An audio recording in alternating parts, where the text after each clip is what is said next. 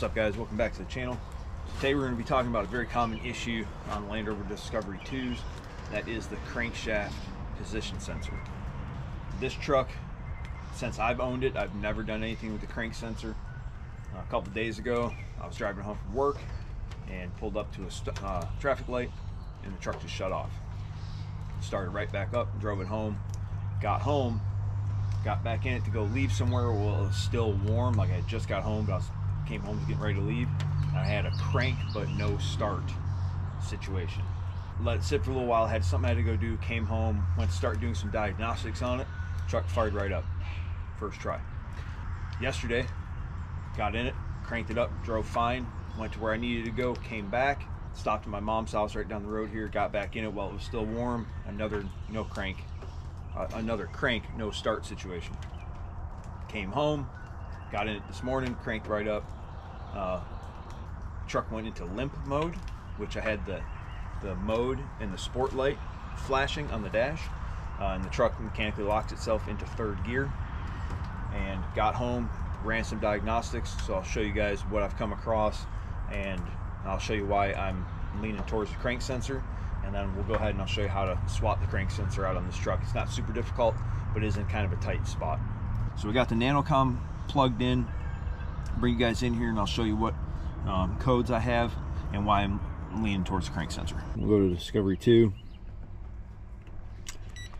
Electronic. First thing I want to do is I'm going to show you this uh, transmission code that I have.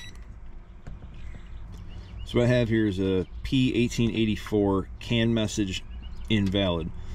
And I'll show you in the Rave manual why I think this code has appeared.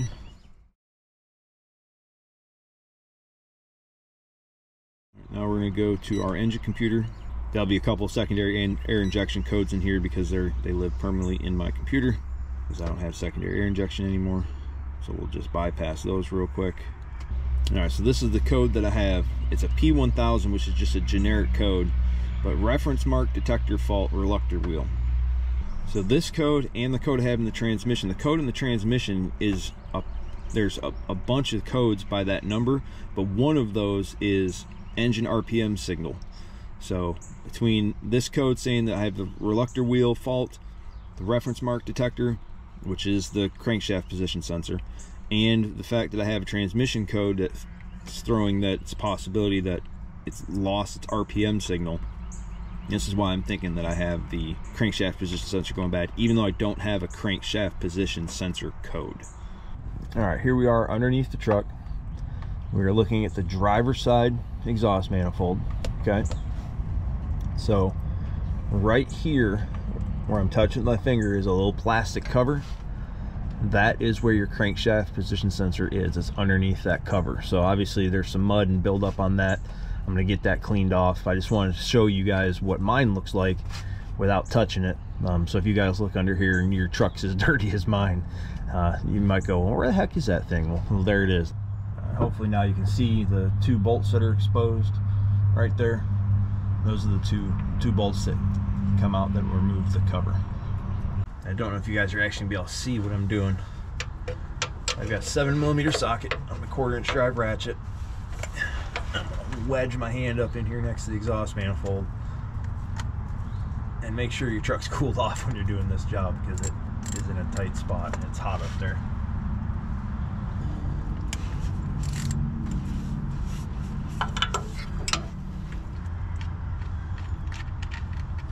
Alright, there's one bolt out. These aren't the hardest bolts to access on a Discovery 2, but they're definitely not the easiest to get at. There's your other bolt. Now we can remove the cover.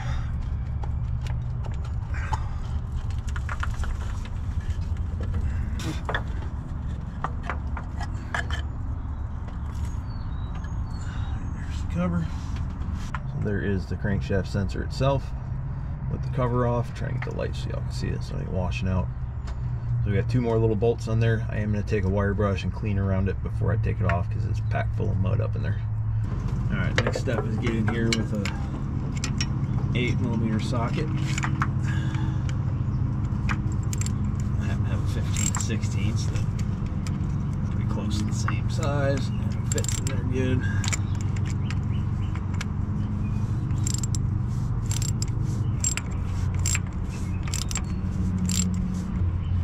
And it's not the easiest spot to access, but just take your time.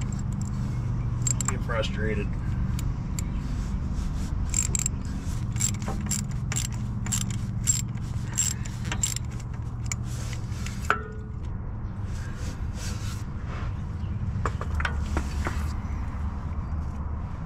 Alright, so there's the crank sensor.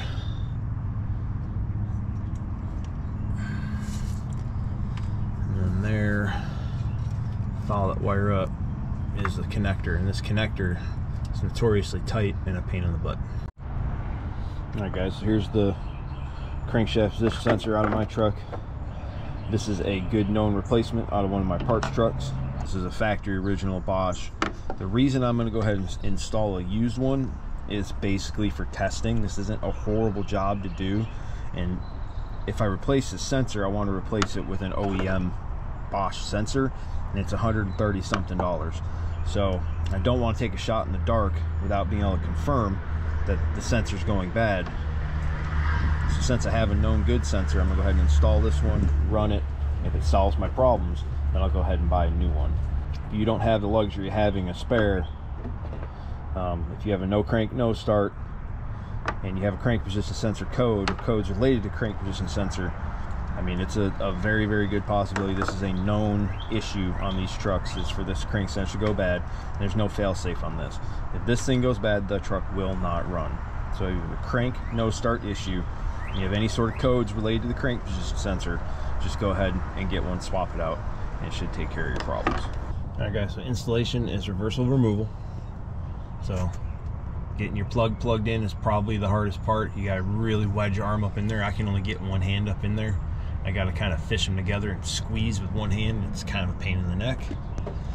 The next thing is getting the sensor in. You gotta make sure that your little bracket lines up and then the sensor itself lines up over those two studs.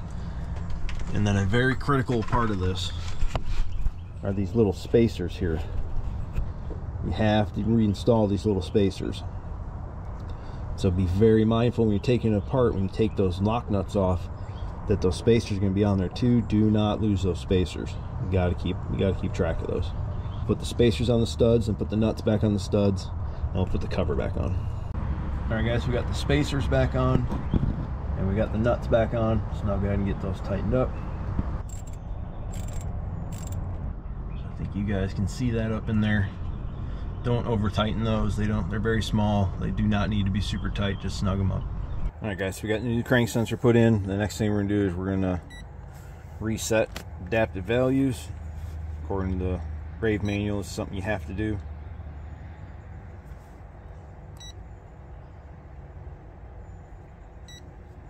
Okay i always do it twice just for fun. So we get a start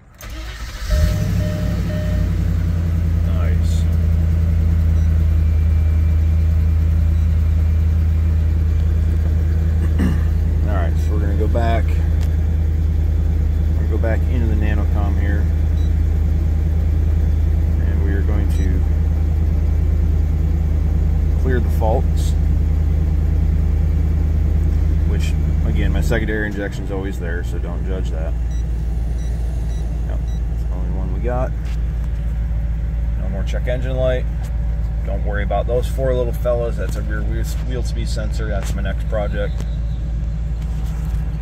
there you go guys crank position sensor on a Land Rover Discovery 2 not the hardest thing not the easiest thing um, skinny long arms definitely helps um, it's kind of a tight spot to get into but it's not impossible and it's a very common issue on the Land Rover Discovery 2 so thanks for watching guys. Don't forget to like share and subscribe. And we'll see you in the next one which is probably going to be rear wheel speed sensors. Thanks guys